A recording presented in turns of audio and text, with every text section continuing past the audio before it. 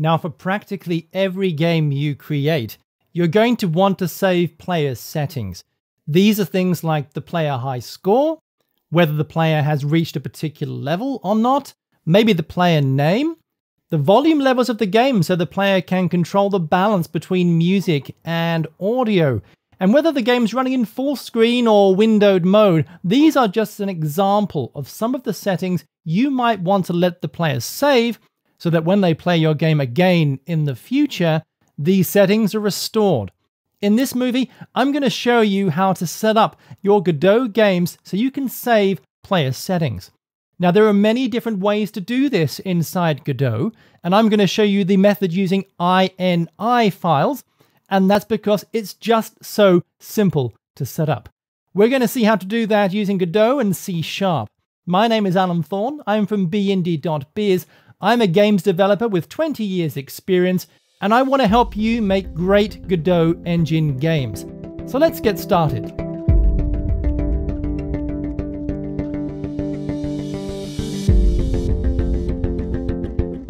So here inside the Godot editor, we're going to be setting up our project to save and load data. In this case, I'm going to be saving the window size so that it saves a setting of how large the window is, and later, using the INI file, we could type in some new values to change the dimensions of the window so that when the game loads back, the window is resized to a completely different size. Now, we might in some cases want to actually do this where we give the player the ability to change the window size. But of course, we can use INI files to save any kinds of settings. Let's take a look at how this works. So inside this Godot scene here, I've got a very basic 2D scene set up. I've loaded in this 2D background sprite, which is based on a texture here, the background texture. Now I've set this window to be a particular size.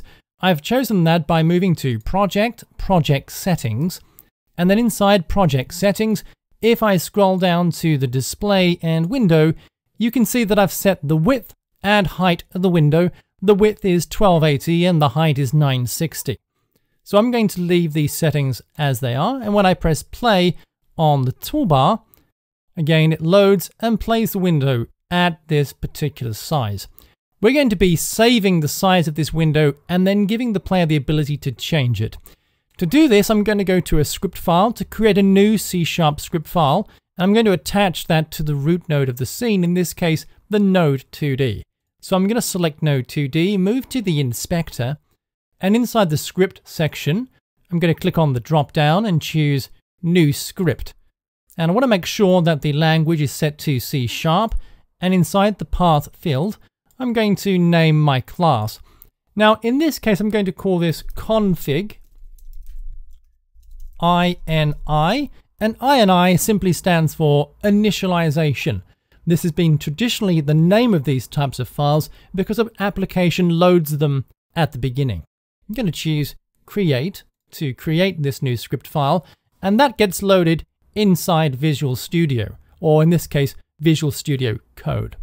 Now I'm going to remove all of the comments because I really don't want them, just leaving us with our basic template file. Now to get started, I'm going to begin with the save function.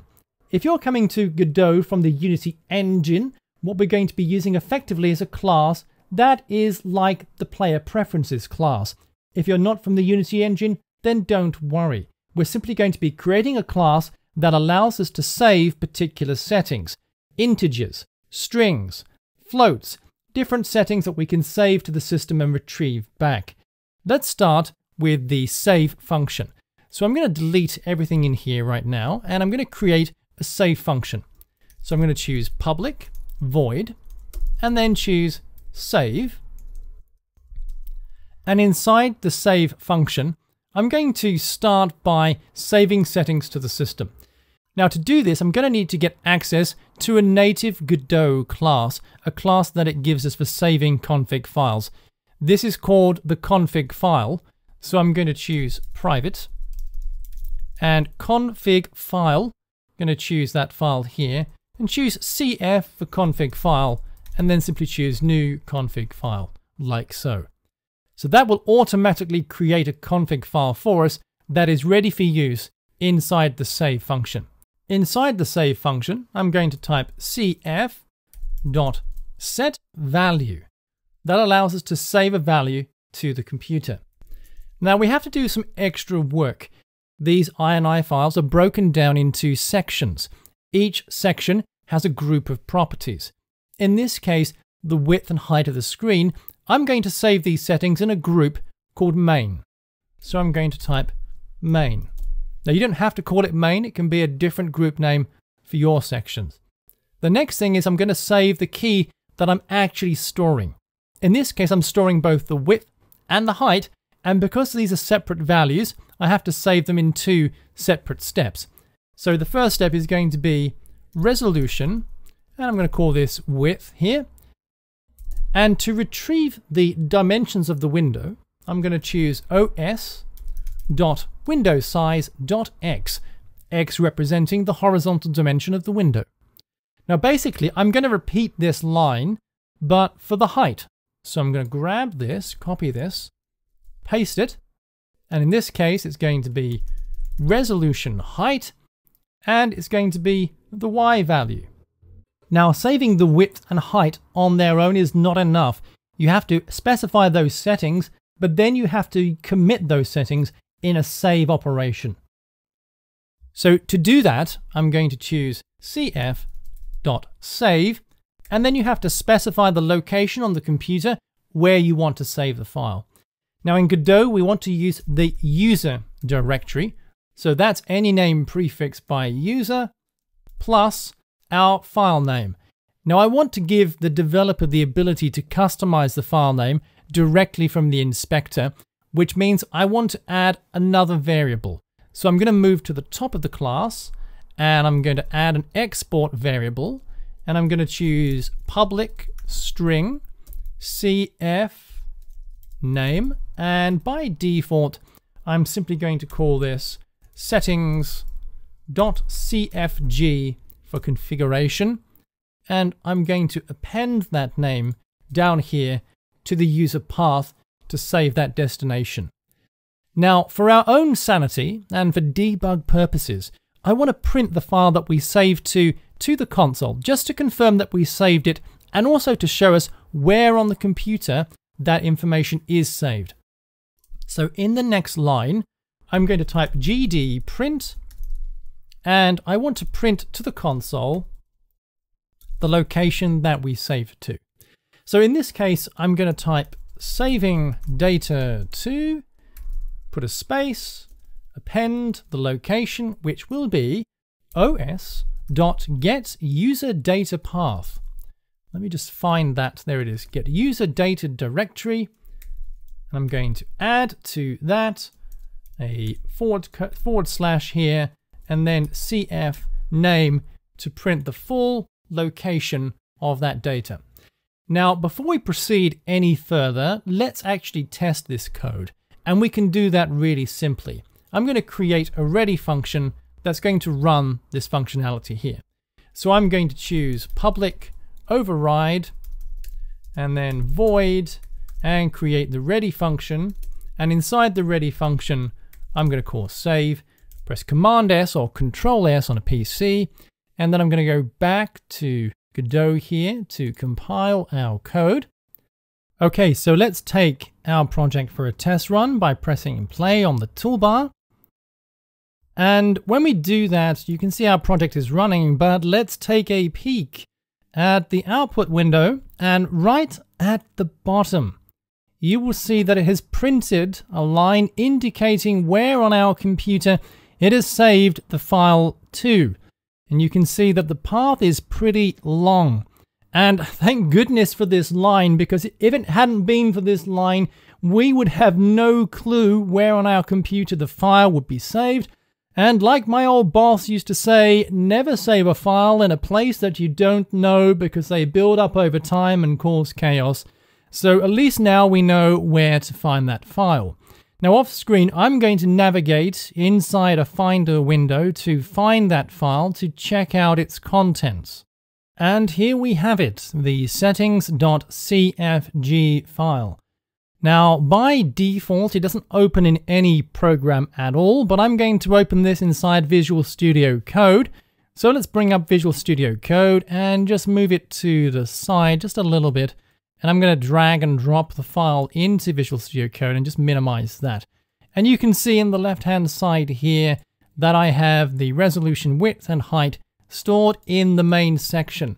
So that is great. My code on the right-hand side here is storing that information exactly where it should do, which is great.